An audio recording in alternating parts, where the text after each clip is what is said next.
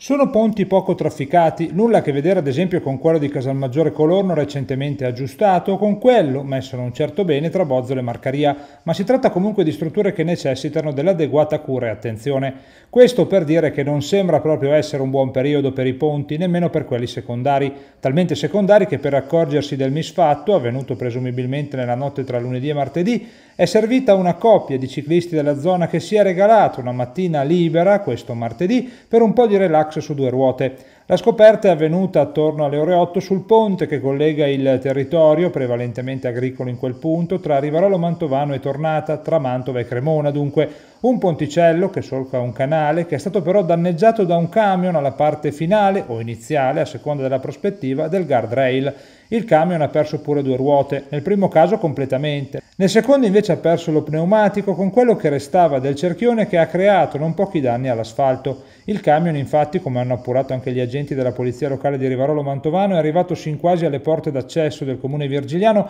per poi fermarsi evidentemente per cambiare le gomme. Come è stato possibile dedurlo? Dalla lunga striscia bianca sull'asfalto, il segno lasciato dal cerchione e dal fatto che proprio vicino all'ingresso di Rivarolo si trova ora una grande crepa sull'asfalto. Dopo quella crepa il segno non ricompare più, probabile che a quel punto il camionista si sia deciso a effettuare una riparazione di fortuna. Non è tutto, due ponti dopo, una struttura ancora meno utilizzata della prima, ma comunque sfruttata da camion e trattori, altro scenario simile. Qui addirittura è stata abbattuta la colonna di cemento di sinistra che sostiene l'inferiata, non a caso ripiegata quasi su se stessa. Un altro danneggiamento quindi dovuto quasi certamente a una manovra, probabilmente una svolta, effettuata con poca perizia. C'è chi sostiene che la colpa sia dei cosiddetti camionisti stagionali che non hanno molta pratica con questi mezzi pesanti e ingombranti, ma sono indispensabili nel periodo estivo per il trasporto della merce. Intanto, a proposito di camion fuori strada, tornando e passando per Villanova, frazione di Varolo del Re, abbiamo notato un rimorchio sdraiato su un fianco, pure qui dopo una manovra forse ardita, come a dire, non è proprio periodo